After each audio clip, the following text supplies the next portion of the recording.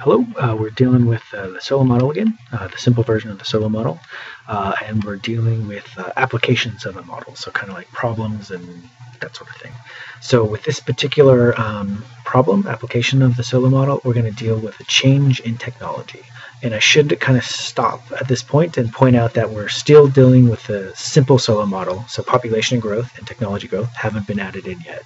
Um, when I say a change in technology, uh, I'm just changing total factor productivity. Later on, when we kind of um, abstract the model a little bit, uh, we deal with populate with uh, technology growth, and we can deal with shocks in technology growth. So we're not dealing with that at all here, uh, the technology we're dealing with is A, where A represents total factor productivity. So uh, if you remember the production function, output right is equal to a function of the factors, so capital and labor, uh, and then we have a, a, variable for total factor productivity A here.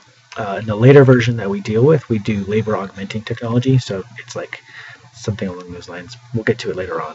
So when I say change in technology, I say a change in total factor productivity. So uh, yeah, what I plan to do is I'm going to kind of summarize the basic effects with the Solow uh, diagram, uh, and then we'll go through time series graphs to analyze the uh, transition dynamics of uh, the shift from one total factor productivity to another. Awesome. So looking at the Solow diagram, uh, what can we expect to happen? How do things change in the steady state with a higher uh, total factor productivity, higher technology in the sense that I'm using it?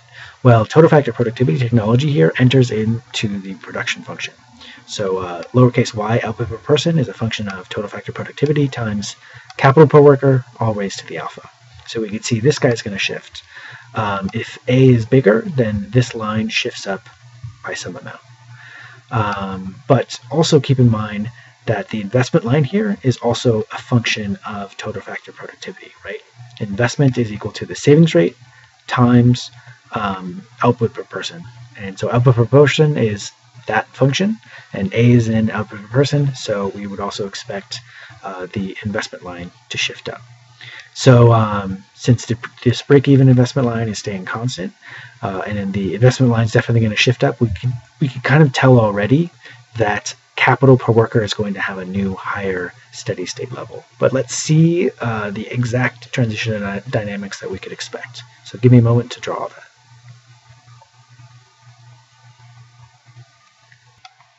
Bam. Okay, so uh, A has increased. Total factor productivity is bigger. To indicate that, um, you know, notationally, I'm going to have these subscripts where A sub naught is our initial total factor productivity and A sub 1 is our new total factor productivity. So uh, the effect is uh, where this is our initial output per person, given some value of capital per person. We now have a new higher output per person.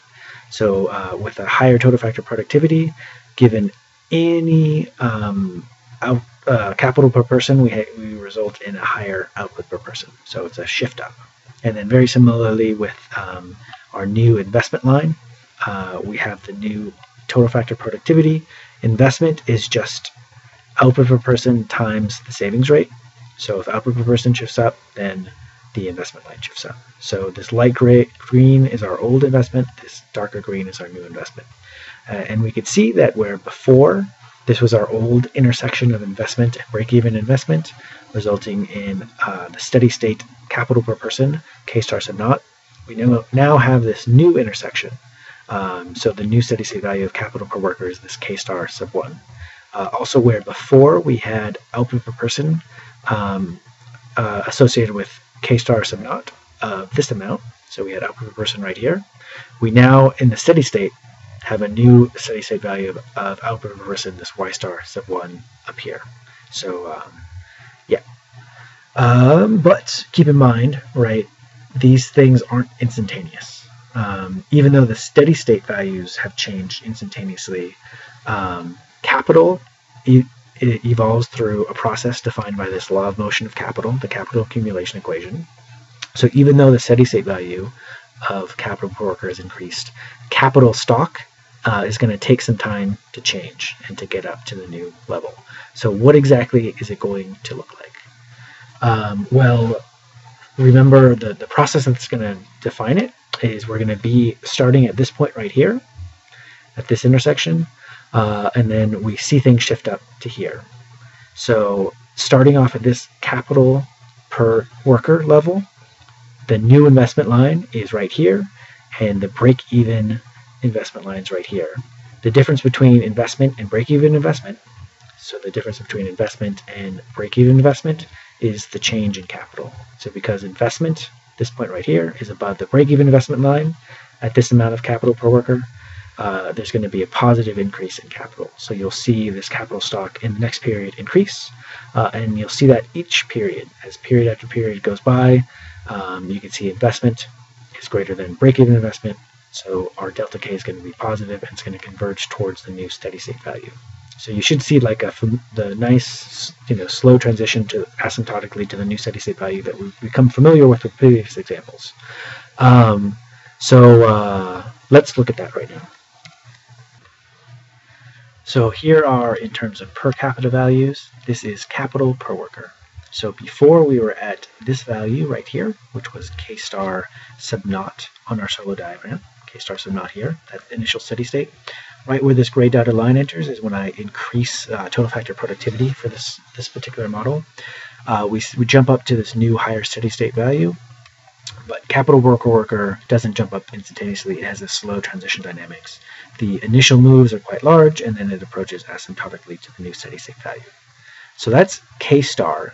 Uh, sorry, that's capital per worker. That's how it evolves through time. But now let's think about how output per worker is going to evolve through time because it's going to be a little bit different, right? So uh, when right at this gray dotted line, we have capital per worker stock equal to this. So we're at K star sub naught. Um, and then at an instant in time, we have a new higher total factor productivity. So right at that instant, uh, the moment that happens, output per worker jumps up to the new output per worker function. So you, you're going to have an instantaneous jump in output per worker because associated with this capital per worker stock, we have this output per worker. So you'll have an instantaneous jump. However, there's still this transition dynamics that are going to have lead capital per worker to evolve to the new steady state.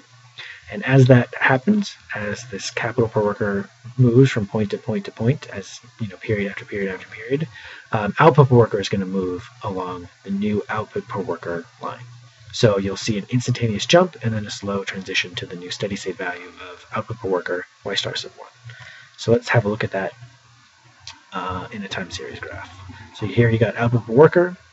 This line right here is uh, y star sub naught. So this value comes along the gray dotted line, which is where we increase total factor productivity. And here you see that instantaneous jump associated for going from this point output per worker to this point output per worker because we have the new higher total factor productivity. Uh, and then as time goes by, period after period after period, as the stock of capital per worker slowly evolves to its new steady state, then output per worker is going to slowly evolve to the new steady state. And that's as we go slowly up this uh, production, the new production function to the new steady state. Um, so that's output per worker. And then uh, you know you have similar stories for consumption per worker and investment per worker. Um, hopefully that was clear. Um, I guess intuitively, uh, you know, I've been avoiding intuition. I've been focusing on the dynamics of the model. But intuitively, right, if you increase technology, people are just generally better off because the capital and labor is more effective in the economy. So if you were to increase technology, you expect output per worker and you know just things generally to be better off, which is what we see. Uh, right, so if you found this helpful, be sure to give it a thumbs up, and thanks and have a good day.